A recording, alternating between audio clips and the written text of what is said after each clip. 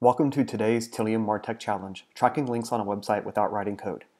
My name is Dan George, and I'm the Solutions Consulting Operations Manager at Tealium. So you've probably asked yourself, how can I track what my users are doing after the page loads, such as link clicks, uh, without getting your engineering team involved? So us at Tealium, we've developed a way for you to do that with no coding, and here are the steps on how to do that. First, you need an active Tealium IQ user account.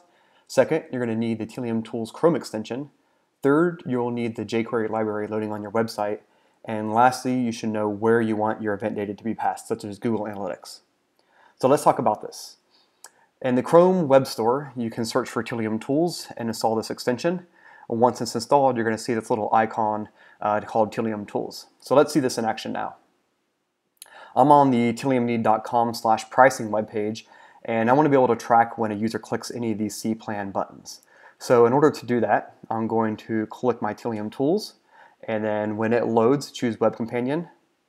When it loads, I'm going to go to the Tools tab, and this is what's going to allow me to do my on-page element selector.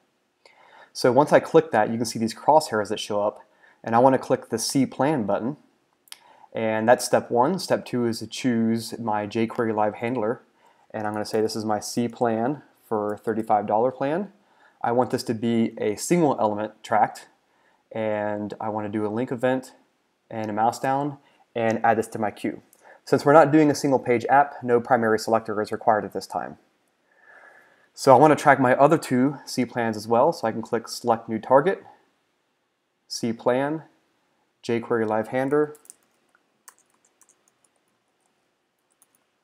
single element, and again, I want my link event type on mouse down, and I'm going to add that to the queue. And then lastly, I need to do my $75 plan as well. So C plan for $75, single element, link, mouse down, add to queue. So at this point, you can see that I have three unsaved changes in my queue, and I'm going to click Save to apply all of these, and confirmation to save the profile. If you are not already logged in, uh, Web Companion will prompt you to do so. Additionally, if you have MFA, you can enter your multi-factor authentication ID there as well. So let's log into Tealium IQ and actually see this extension added to our profile. When I go to the extensions tab, you'll notice that three new extensions are added and at this time they are all uh, deactivated. So I want to enable all of them. And from here you can see my selector is already there.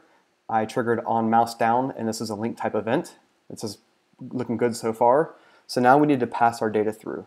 In my example, I want to be able to pass through my Google Analytics event and pass through the information specific to that. So I can just go through all of these and enter my information.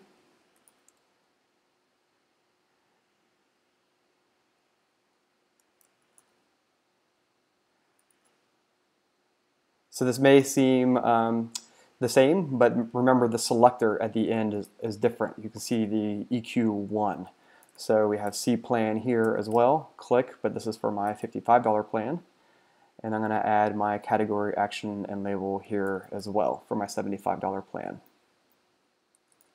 This is for my action and my attribute. So C plan, click, and 75. So I've enabled all three. I've added my category, action, and label.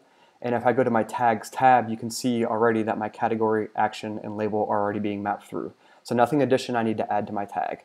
So I can go to my Save Publish button and see plan, click Logic, and publish this out to production.